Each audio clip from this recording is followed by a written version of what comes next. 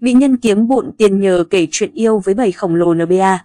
Những câu chuyện mà Aliza Diên kể giúp cô kiếm được bộn tiền trên mạng xã hội. Năm 2020, Aliza Diên, người mẫu xinh đẹp người Mỹ gây hoang mang khi tuyên bố cô đã kết nối các ngôi sao bóng rổ Phoenix Sun trong cùng một đêm. Phát biểu trên podcast No Jumper của Adam 22 3 năm trước, cô nói, vào ngày sinh nhật của tôi.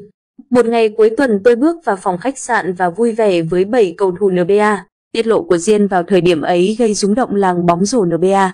Danh tính của những cầu thủ đã tham gia vào cuộc thác loạn này không được người đẹp hé lộ, nhưng khán giả lờ mờ đoán một số cái tên.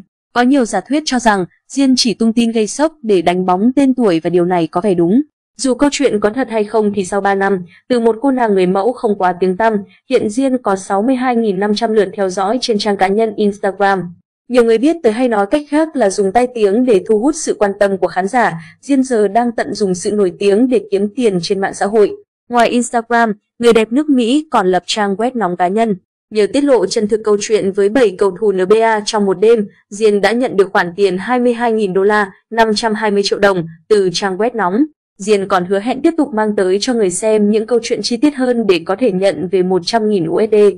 Nhưng cuộc sống của Diên đã thay đổi vào tháng 1 năm 2023, thời điểm cô trở thành mẹ. Diên viết trên Instagram, gửi con gái của mẹ, kể từ thời điểm mẹ phát hiện con đang lớn lên trong bụng, mọi thứ về mẹ đã thay đổi. Con cho mẹ sức mạnh, cho mẹ hy vọng, con là câu trả lời cho mọi câu hỏi và lời cầu nguyện của mẹ.